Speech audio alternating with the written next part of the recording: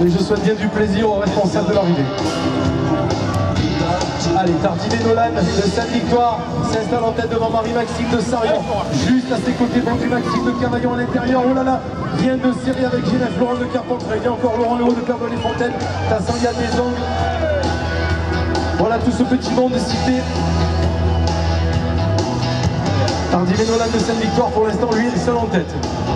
Marie-Maxime de Sarion est à la quatrième place. S'il restait, s'il devrait se qualifier. Genève Laurent de Carpentras est à la troisième place. Et à la deuxième place, c'est bon du Maxime de Cavaillon. Nous avons là le quartier gagnant de cette série numéro 414. Ça sent, il y a des angles d'argent.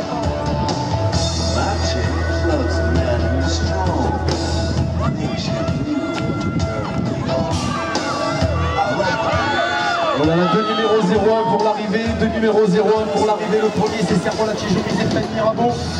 Tom de Cornillon pour l'instant est à la deuxième place. Birker Théo des Pen Mirabeau est en train de remonter à la deuxième place, à la première place, alors que le pilote de, de Cornillon, ne s'en laisse pas compter pour l'instant, il est à l'intérieur. Le deuxième virage, il réussit à conserver sa deuxième place.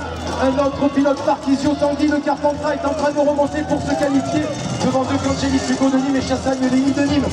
Sermonati Joris des Mirabeau premier. Bertelton de Cornillon deuxième. Bercartéon des Mirabeau troisième.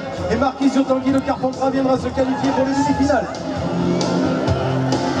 Chez la jouée de cette victoire facile, facile, même si Kinzig ici de Carpentras ne s'en laisse pas compter. Et pour l'instant, il est en train de prendre le large dans cette série numéro 416.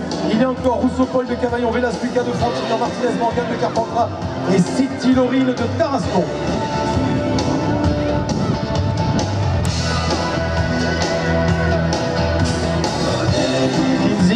Alexis de Carpentras, facile devant chez la jouée de cette victoire. À la troisième place, Rousseau-Paul de Cavaillon, c'est tout à fait ça. Et enfin, celui ou celle qui prendra la quatrième et dernière place qualificative sera Velas Lucas de Frontignan.